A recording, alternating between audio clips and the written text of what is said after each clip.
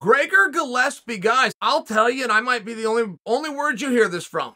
I'm gonna miss him. I really believed in Gregor. I, I, I, truly, I followed him though for a long time. This is a wrestler. I'm not sure you guys are totally familiar with his wrestling career. If you even know that he wrestled, then you probably heard that he was an NCAA champion. But there's more to that story. He was a four-time All-American. He was the national champion as a sophomore. Along the way, he's running into guys like Jordan Leen comes to mind, Michael Chandler comes to mind, Jordan Burroughs comes to mind. This is a very difficult weight class to ever do well in. He did well all four years. Oh, as a matter of fact, he was the champion at a sophomore. That puts him at like 20 years old. Very, very difficult to do.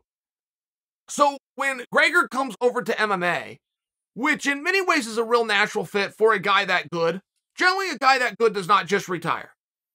Generally, a guy that good will either have Olympic and world aspirations and stay in wrestling, or he'll go over into MMA. So Gregor goes to MMA, but beautiful record, great results, gets picked up by the Ultimate Fighting Championship. Now, when Gregor goes out and fights, if I was to look at his very early fights, which I happen to watch, I believe it was his first fight he ever had in the UFC, went the distance. I don't know that he ever had another fight ever go the distance. He's got like a 14 and 1 record, but at lightweight.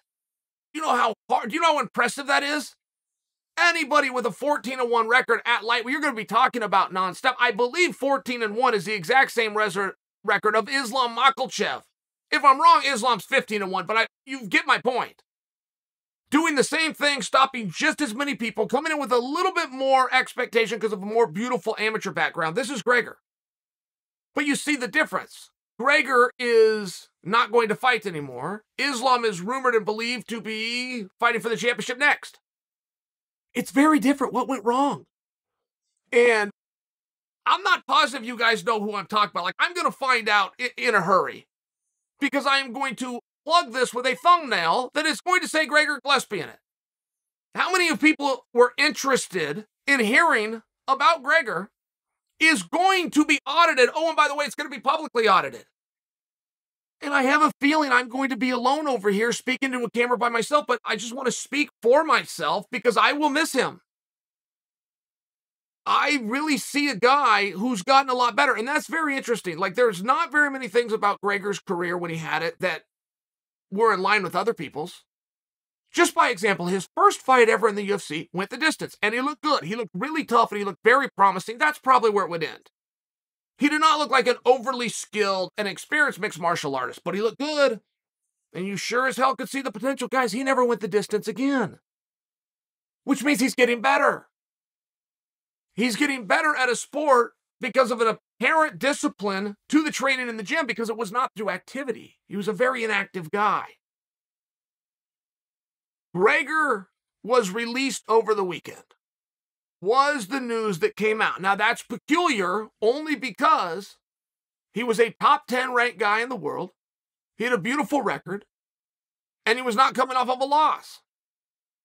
So generally, if you don't have any of those ingredients, you don't get cut. What happened here? Well, Gregor cleared it up. He said, not so fast. Regardless of those reports, I have not been released.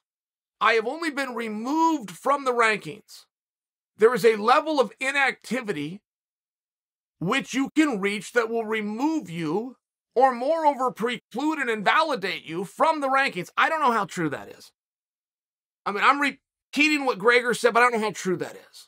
I've seen a number of guys that haven't fought for a period of time. Dominick Cruz just comes to mind, and maybe the rules have changed since then, but Dominick was out for three and a half years. Not only did he not lose his ranking, he didn't even lose his championship. And I think that we all understood that. Look, the poor guy's got an ACL and he gets better than his other ACL. But I'm only offering you an example of guys who have been inactive over time. Are all inactivities not treated the same? If you have a good excuse or a note from a doctor, you stay with. I don't know about that. I don't know that there is any kind of a rule that would preclude you from the rankings for inactivity. I don't know about that. But that is what Gregor said. Now, Gregor, when he said this and wanted to clear this up, I'm still with the organization. I just happen to be looking for the right fight. And I turned some fights down, and I do admit that I did that, but they just weren't the fight that I was looking for. That's why I'm coming to let you know that it's over, sadly, right? If you couldn't get the fight that you were looking for when you were ranked, of course you can't get the fight that you're looking for when you're not ranked. This is just basic logic. And I had a number of conversations about Gregor quietly. I would tell people, people say, can anybody beat Khabib? Can anybody deal with Khabib? Is anybody ever going to stop him? And I would always insert Gregor. And I wasn't picking or predicting Gregor, but I would say, well, you know what? There's actually a guy that you don't know about. There's a guy in the organization that on paper, with the wrestling, with the scrambles, and with the conditioning, right? You got a fantastic conditioning to even be in the conversation of Khabib.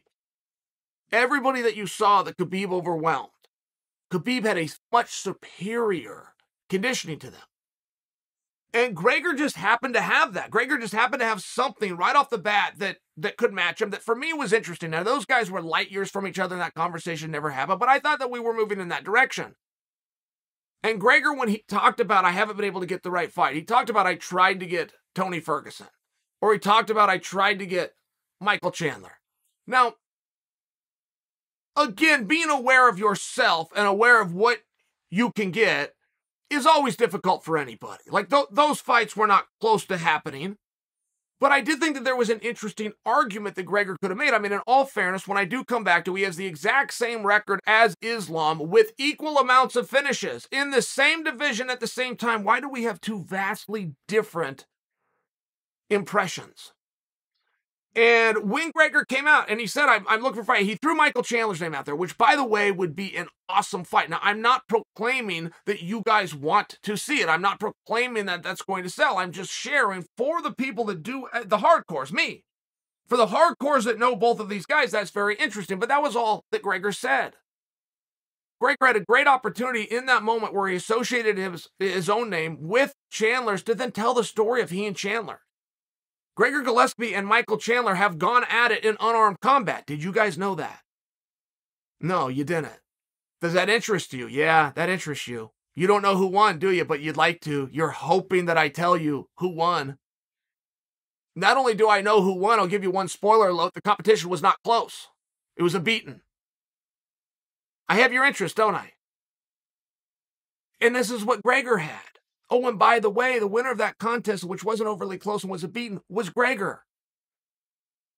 Now, that would really add to the fuel of the fire of him getting in there with Chandler. It's not enough. It's not going to push him over the top. And now that he isn't ranked, it's not even going to be a conversation. I do think that he had the ability to create a conversation. And as I just look at his career, something went off here. Something. Like, look, let me give you an example. There's people that you're going to listen to. At the top of that food chain is going to be your manager and trainer the absolute top of that food chain. Now, your relationship with your manager and trainer is a business relationship. They are getting a piece of what you do. There's a reason they are incentivized to train and prepare you properly. There's a reason they are incentivized to organize and strategize your career appropriately. If you have a business relationship with somebody and you're not doing in business, you now don't have a relationship. But that wasn't the case. They kept him, they liked him. Nobody flinched. Nobody wanted him to go somewhere else. Nobody was tired of representing him. As inactive as he was, the opportunities that there were that were passed up, nobody got upset. And I can tell you just from watching Gregor, he must have been fairly disciplined in the gym because he was getting better between fights. Now, at 35 years old, it's just simply not going to happen. And I thought that this was very obvious when, when Gregor gave his side of the statement, which is contrary to the reports, I am not released. I am only removed from the rank. When he gave his side, he was very clear to shine the wheels of the UFC, the greatest organization, the most organized, the most fair people. I mean, the, the pay is great, the treatment's great. It was one of these things where he really went out of his way. Now, that was appropriate and that was nice, but you also understand he's delivering a message. And at 35 years old, unranked and with a reputation of turning things down and being active, there's nowhere else to go. You could give him his walking papers today. He's not going to get picked up. Like his phone isn't going to ring, and the, the, other voice says, "Hey, this is Scott Coker." That isn't going to happen. Phone doesn't ring. This is chachery. Like that doesn't happen because you're 35 years old.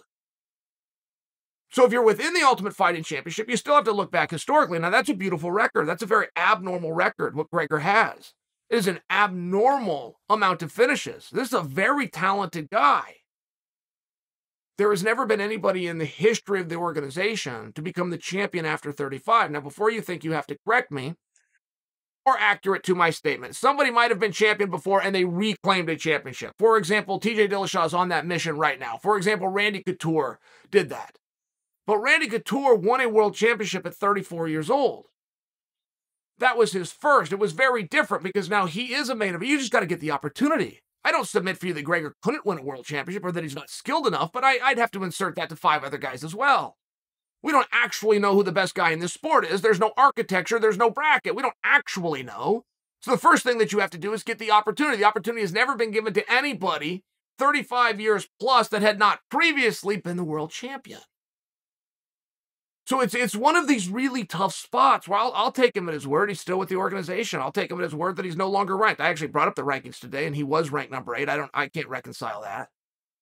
But at the same time, if, if there's specific specific fights that you want, and you will not compete unless you can get those fights, if you couldn't get those and you're unwilling to do it when you were ranked, it simply isn't going to happen when you're not ranked. So it's a really it's an interesting spot. I don't know what to make of. I know that's a very skilled young man. And I know he still has those skills. I do not believe he can get that push. That's a game for him to play. That's a game for him to try to do. But to have success at those games, you must have something called goodwill. To lose your spot in the rankings without fighting, let alone losing, means that you've lost your goodwill.